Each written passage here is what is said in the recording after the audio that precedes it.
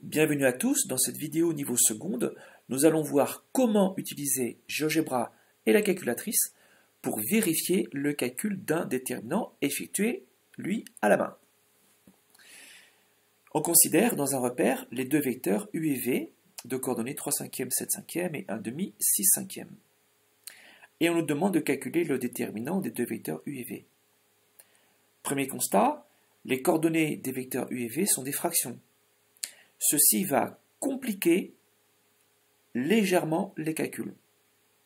Je me suis placé volontairement dans une situation encore très jouable, puisque les dénominateurs se ressemblent, des cinquièmes, des cinquièmes, des demi et des cinquièmes. Évidemment, dans le monde réel, dans un vrai exercice, nous pourrions avoir des fractions avec des dénominateurs totalement différents. Euh, je, présente, le calcul du déterminant des deux vecteurs. Par la méthode habituelle, on présente sous forme de tableau, on recopie dans la première colonne les coordonnées du premier vecteur, deuxième colonne, coordonnées du deuxième vecteur, etc., etc., etc. Petite astuce ici calculatoire, je vous laisse euh, mettre en pause éventuellement, et on obtient comme résultat finish 1 sur 50. Et puis la phrase réponse, on a finalement le déterminant des deux vecteurs U et V est égal à 1 sur 50.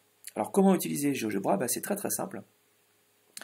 On va commencer par euh, GeoGebra. Hein. Euh, dans le module de calcul formel de GeoGebra, je vais définir les deux vecteurs U, deux points égales. Alors, quand vous êtes dans, en calcul formel, pour définir un objet, c'est deux points égales. Attention. Entre parenthèses, par ses coordonnées, qui sont 3 cinquièmes, virgule 7 cinquièmes, Enter, voyez que GeoGebra automatiquement réécrit les coordonnées du vecteur U en colonne et ne met pas de flèche au-dessus de U. Ben, c'est pas bien grave, c'est son langage à lui. On va s'adapter. V, 2 points égale, entre parenthèses 1 demi, virgule, et 6 cinquièmes.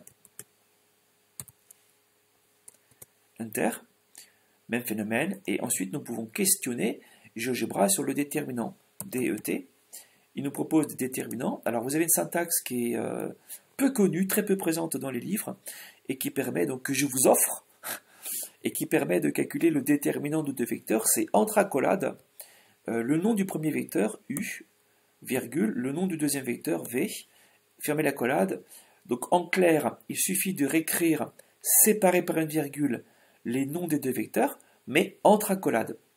Alors 5, 4, 3, 2, 1, si on appuie sur Entrée, on voit la réponse 1 sur 50. Donc ça, on est euh, très très content, évidemment, de connaître cette syntaxe. Je vous laisse la mémoriser. Déterminant, entre parenthèses, entre accolades, U vecteur V, enfin les noms des vecteurs, hein, U virgule V, fermez l'accolade, fermez parenthèse. Maintenant, en utilisant la calculatrice, on peut, euh, grâce aux matrices de la calculatrice, même en mode examen, donc là on sera en mode examen, on fait genre on est en mode examen, tout ce que je vais montrer euh, est possible en mode examen. Alors d'abord, euh, vous avez une touche matrice en fait qui est là, ici là, c'est, euh, je, clique pour qu'elle soit en rouge, c'est plus simple. on va travailler avec la matrice grand A et on va l'éditer. Donc menu edit. J'appuie sur entrée. Alors il faut que, la matrice grand A soit une matrice deux lignes et deux colonnes, une matrice 2 fois 2, ce qui n'est pas le cas actuellement. Donc je tape 2, et je tape 2, entrée, et j'ai un tableau à deux lignes et deux colonnes, et je vais simplement rentrer en colonne les déterminants de U, qui sont 3 cinquièmes, 3, très oblique, 5, entrée. Et puis, euh, il faudra faire attention parce que par défaut, euh, l'entrée se fait en ligne. Donc, la deuxième, euh, le deuxième nombre que je vais rentrer, c'est la première coordonnée du vecteur V, donc 1 demi. Évidemment, on ne va pas se tromper. Hein. Ensuite, euh, je poursuis donc la première colonne de la matrice qui doit être la euh, colonne des coordonnées du premier vecteur, du vecteur U. Là, c'est 7 cinquièmes, 7 cinquièmes, entrée, et puis 6 euh, cinquièmes. Entrée, c'est merveilleux. Seconde quittée. Ensuite, j'appuie sur, à nouveau sur matrice et menu mat pour effectuer des calculs. Et dans le menu maths, j'ai l'option numéro 1, déterminant. Alors c'est déterminant de la matrice grand A. Alors pour avoir accès au nom de la matrice grand A, on rappuie sur matrice, on valide la première option, et on ferme la parenthèse. Donc là, on ne le voit pas très très bien. Je vais essayer de grossir après euh, pour que vous puissiez mieux voir. Déterminant de grand A peut être mis sous forme, sous forme simplifiée, donc mat, entrée, entrée, entrée, entrée. Et vous voyez, alors là, on ne voit pas super bien. Alors je vais tenter une manipulation qui va être euh, euh, de grossir. Alors là, on ne va plus rien voir. Je bouge la fenêtre. Alors je ne maîtrise pas bien les enfants, mais je fais ce que je peux. Hein. Voilà, je vous rappelle, je ne suis pas très bien coordonné, donc euh, je fais ce que je peux.